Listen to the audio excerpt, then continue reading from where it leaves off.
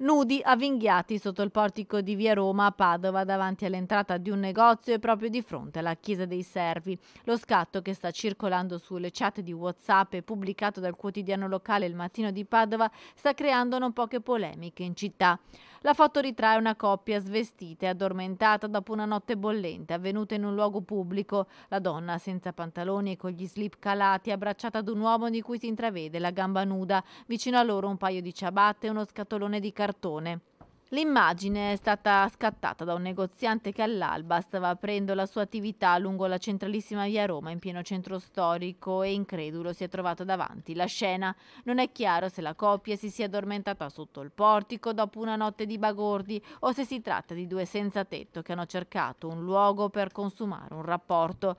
Residenti e negozianti dicono di non averli mai visti prima dello scatto. La foto della scena, che ha lasciato a dir poco allibiti i cittadini, è già nelle mani della polizia locale di Padova che ora sta cercando di identificare i due per cercare di far seguire la loro situazione dai servizi sociali.